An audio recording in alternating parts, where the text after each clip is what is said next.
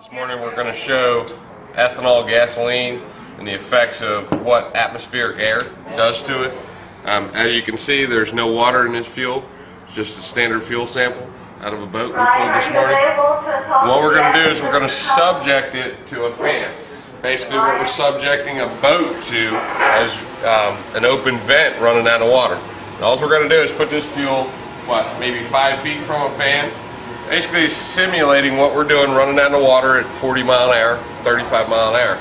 Uh, what we'll see is in about 10 to 15 minutes, this fuel is going to start actually making its own water, um, simulating what a boat vent does to a boat fuel system.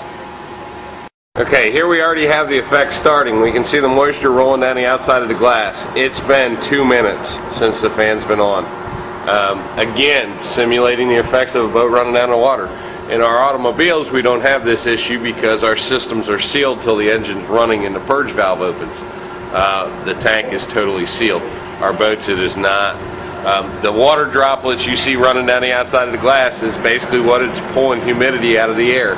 We can also see the outside of the glass condensing. Basically, that's the alcohol causing the coldness, uh, causing the glass to condense.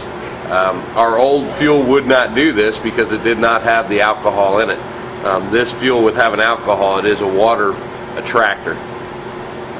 Okay, this is after one hour of having the fan on this fuel. You can see down in this bottom corner, we've accumulated probably an ounce, ounce and a half of water already. Now granted, we're dealing with 16 ounces of fuel, one ounce of water already, where in a tank worth 20 gallons, you know, the accumulation is going to be doubled.